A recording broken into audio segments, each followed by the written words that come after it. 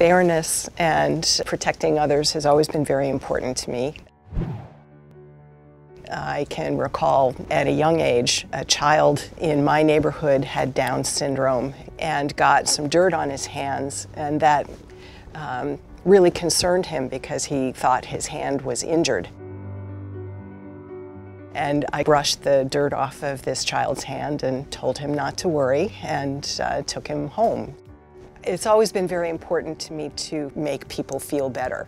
I have the privilege of both working at the bench and also to work with families to be able to give them answers.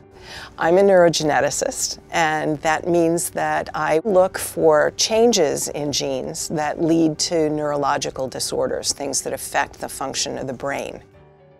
Having the privilege of working with families, hearing the challenges that they face as they uh, move on in their life story is very motivating. It keeps us engaged in trying to find answers for them. And it's not just me, it's my whole laboratory. They have a sense of, uh, well, we're working on this for somebody who's out there.